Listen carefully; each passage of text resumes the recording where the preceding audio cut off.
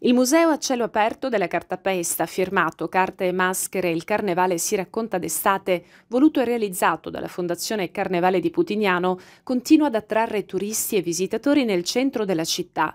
La cittadina sud di Bari, famosa per il suo antico carnevale, per l'estate 2022 ha infatti messo in mostra la sua arte, la cartapesta, con sette maestose sculture che fino al 30 settembre vestiranno e coloreranno la città.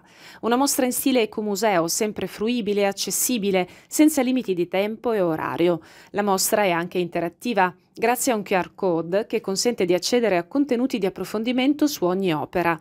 Dopo l'esperienza positiva dello scorso anno con racconti di carta, l'esposizione di questa estate ha l'obiettivo di raccontare il carnevale di Putignano. L'iniziativa si rivela quindi un omaggio all'arte putignanese, alle sue tradizioni e al suo evento identitario, che tornerà finalmente dopo due anni di stop forzato a causa della pandemia per l'edizione numero 629, sfilate il 5, 12, 19 e 21 febbraio del 2023 fra le sculture di maggior pregio c'è una riproduzione dedicata al santo protettore di Putignano, Santo Stefano, a cui si deve l'origine del carnevale locale.